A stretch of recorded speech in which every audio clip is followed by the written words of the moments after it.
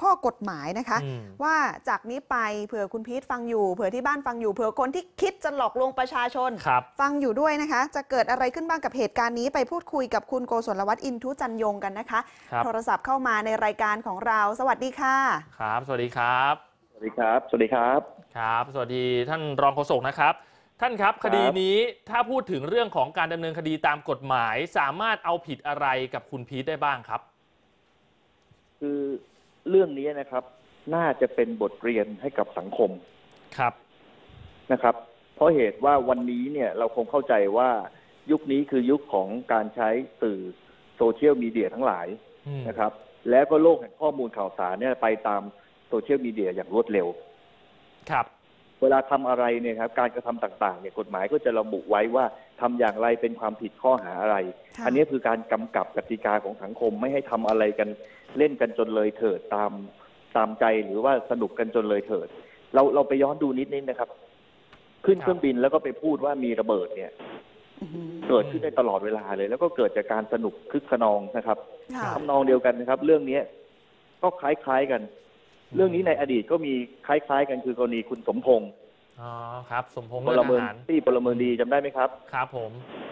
ครับ ทีนี้เราลงมาดูนะครับ กรณีทั้งหมดเนี่ย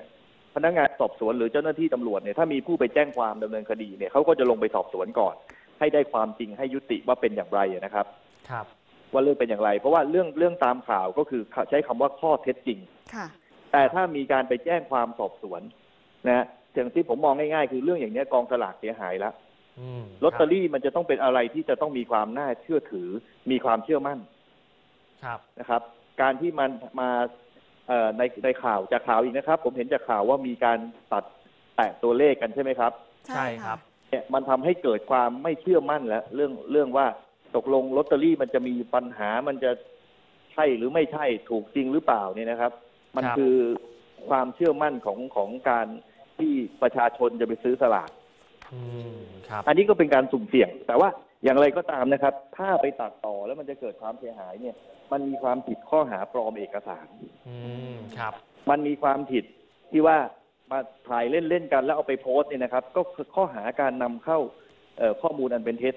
นะในระบบคอมพิวเตอร์ ครับ ซึ่งพวกนี้มีโทษทางอาญาทั้งนั้นค่ะแต่นะครับ การจะดำเนินคดีเนี่ย จะต้องไปสอบสวนค เพรับราะฉะนั้นอาจจะต้องมีผู้แจ้งความนะครับ หรือเกิด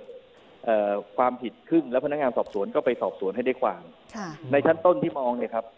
ถ้าไปหลอกลวงกันเนี่ยนะครับ มันก็มีข้อหาช่อโกงอีกครับนะครับอืมแต่ช่อโกงเนี่ยมันจะต้องได้ประโยชน์ซึ่งมีลักษณะเป็นทรัพย์สินค่ะครับ ถ้าเราย้อนดูนะครับกรณีคุณสมพงษ์แท็กซี่พลเมืองดีนั้นน่ะเขาได้รางวัลใช่ไหมครับ ครับ ก็คือไปกุเรื่องแล้วหลอกลวงแล้วทำให้ได้รางวัลแล้วสุดท้ายศาลก็ตัดสินจำคุกด้วยนะครับ เรื่องนั้นน่ะอือืมม และจำคุกแล้วเนี่ยศาลตัดสินให้คืนเงินรางวัลประมาณรู้สึกจะสองแสนกว่าบาท ตัดสินให้คืนด้วยนะครับครับคืนรางวัลกับผู้ที่เขาหลงเชื่อแล้วให้รางวัลมาอืมนะฮะแต่กรณีนี้รู้สึกว่าตามข่าวนะครับ ยังไม่เห็นว่ามีการมอบรางวัลกันอ่าไม่มีมอบรางวัล แต่ว่าเขาได้กำไรไปแล้วค่ะเขาขายไปเป็นแสนแสนล้านล้านๆแล้ว อันนี้เอาคืนอะไรได้ไหมคะสำหรับผู้ที่ไปซื้อ ก็ทำอะไรหมายไม่ถึงได้ขายอะไรครับอาขายลอตเตอรี่หลังจากที่มีกระแสว่าเขาเป็นพีทแผงแตกมีผู้ถูกรางวัลที่หนึ่งเนี่ยนะคะอืม เนี่ยเห็นไหมครับว่าว่ามันได้ได้ประโยชน์ในลักษณะที่เป็นทรัพย์สินคือกิจการดีขึ้นค่ะอืมนะฮะครับอย่างทันตาเห็นค่ะเพราะฉะนั้นกระบวนการตรงนี้นะครับ ต้องมีผู้เสียหายที่แจ้งความ ว่าใครเสียหายจากการกระทำเขาบ้าง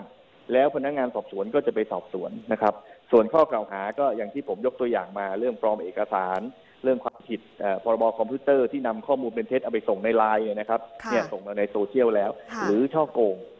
ไปสอบสวนให้สิ้นกระแสความครับว่าทำอะไรบ้าง แล้วได้ประโยชน์อะไรบ้างค่ะแล้วผลกระทบเกิดกับใครบ้างใครหลงเชื่อบ้างได้อะไรบ้าง แล้วตรงนี้ครับกระบวนการสอบสวนจึงจะนำมาสู่การแจ้งข้อกล่าวหาของเจ้าหน้าที่ของรัฐอืมนะครับแต่ซึ่งถ้ามีการสอบสวนนะครับ พนักงานสอบสวนก็จะทำสำนวนค่ะสอบปากคำบุคคลต่างๆ ที่เกี่ยวข้องนะครับ รวมค่ะทั้งผู้ที่ถูกกล่าวหาค่ะนะฮะเป็นลายลักษณ์อักษรว่าได้ข้อเท็จจริงอย่างไรแล้วก็ลงชื่อ ผู้ที่เป็นพยานผู้ที่เสียหายค่ะนะครับ แล้วก็เสนอความเห็นว่าเอ่อผิดไม่ผิดเห็นควรสั่งฟ้อง หรือเห็นควรสั่งไม่ฟ้องอย่างไรส่งให้พนักงานอายการอืมพนักงานอัยการก็จะนำสำนวนการสอบสวนนะครับ มาดูว่า